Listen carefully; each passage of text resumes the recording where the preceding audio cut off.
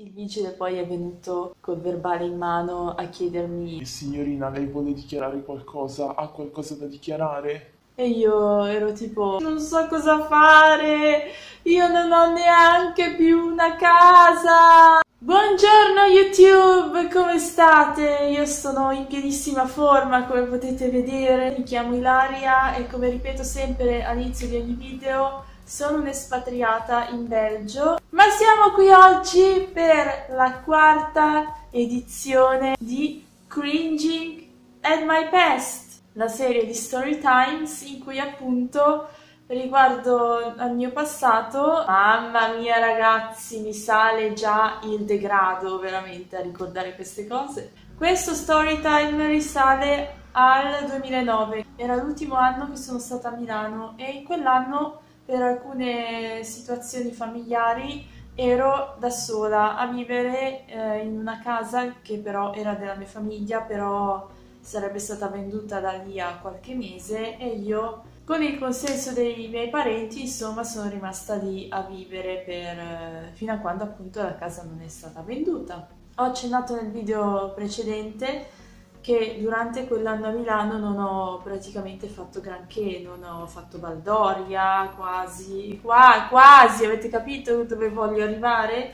Ovvero sì, tre quarti del tempo ero sempre da sola a fare niente, ma per il resto, ragazzi, cosa facevo? Facevo cazzate, facevo cose che nessuno dovrebbe mai fare, no? E questo per un semplice motivo. Io sono sempre stata, per via della mia situazione familiare molto singolare, ecco, piuttosto matura su tante cose, più magari di molti altri ragazzi della mia età. Ma su un paio di cose ero veramente una bambocciona. Ero una bambocciona totale. Avevo di recente preso la patente e usavo la macchina di mio nonno per spostarvi. La macchina di mio nonno era una Fiat Punto mezza scassata perché appunto mio nonno è una persona anziana non so, era, non ci vedeva bene, non ci sentiva bene, insomma non so come avesse fatto ad avere sempre la patente, però era un pericolo pubblico quando girava in macchina e io con questa macchina mi sentivo tipo Dio.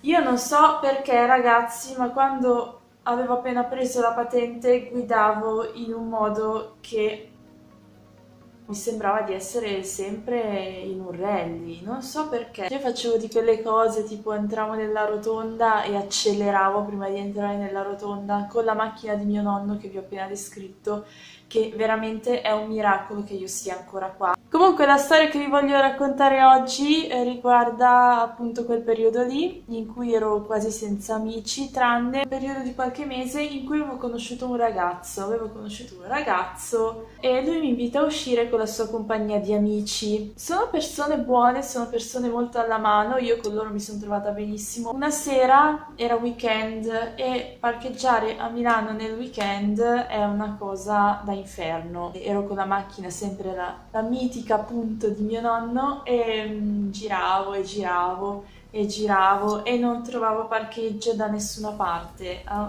ho girato per tipo tre quarti d'ora. Ero a Porta Genova, per chi conosce Milano insomma. E a Porta Genova nella piazza lì principale passa il tram, ma c'erano anche diversi parcheggi, tutti occupati. C'era uno spazio, ok, e un cartello esposto dove il cartello appunto della rimozione forzata e mm, Madonna, io ho visto il cartello, questa è la cosa più dumb, questa è la cosa più stupida, che io ho pure visto il cartello, no? Però pensate, cioè, i genitori quanto potere di condizionamento hanno. Io, tempo prima, ero una volta in macchina con mia mamma e lei doveva parcheggiare e idem non c'era posto eccetera. E ha trovato posto in un'area dove c'era questo cartello della rimozione forzata. E mia mamma ha detto ma chi se ne frega io parcheggio qua perché tanto mettono il cartello ma poi non ti portano via veramente la macchina. Non so perché mia madre abbia detto ciò però io ho assimilato questa informazione e l'ho data valida per tipo nella mia testa questo cartello non aveva, cioè era di soltanto per fare scena, ma poi non ti portavano via la macchina, quindi chi se ne frega. Quindi genitori fate molta attenzione a quello che dite ai vostri figli. perché potrete condizionarli a fare minchiate, ecco come è successo in questo caso.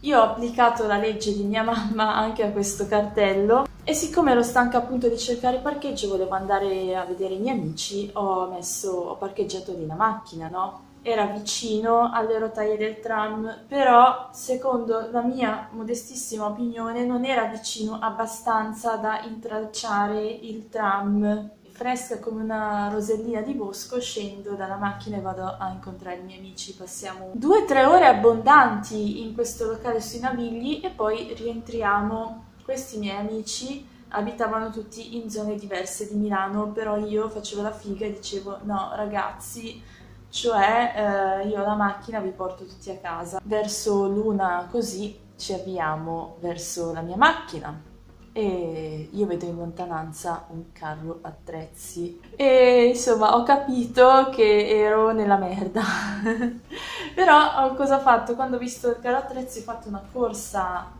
assurda e ho preso le chiavi della macchina in mano. Le tenevo in mano così proprio no? E sono andata lì correndo da questi tizi che mi stavano caricando la macchina proprio in quell'istante e gli faccio No, non preoccupatevi, scusate, adesso me ne vado subito, non c'è nessun problema. I miei amici tipo scandalizzati, con loro non ho mai ammesso che mi ero accorta del cartello, ovviamente, perché mi sentivo troppo idiota. Avevano praticamente caricato la macchina in quel momento e l'hanno tirata giù perché io ero arrivata, ma non è che io come speravo uh, potevo andarmene e um, tanti saluti senza avere conseguenze di questa cosa, no? Mi hanno detto signorina, noi per il suo geniale parcheggio abbiamo dovuto deviare il percorso del tram. Sa questo signorina cosa significa? Che lei ha una multa con la ATM che sarebbe appunto eh, l'azienda Trasporti Milanesi, minchia mi ricordo ancora la sigla, di circa 1000 euro. Io disperata, io disperata. E come se non bastasse, il vigile mi fa che oltre alla multa da 1000 euro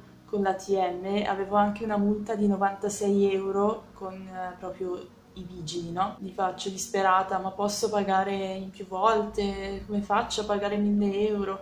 E loro mi hanno detto sì, possiamo dilazionarti 96 euro, ma non siamo sicuri che possiamo dilazionarti 1000 euro, quindi ok.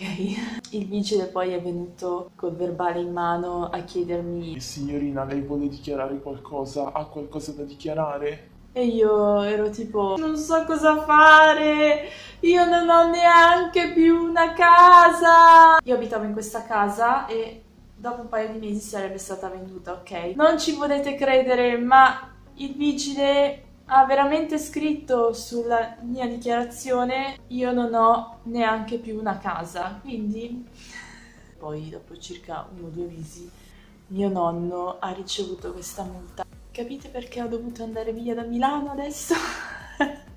non scherzo, non è stato per quello, però insomma non credo che abbia fatto particolarmente bene al mio karma questa cosa.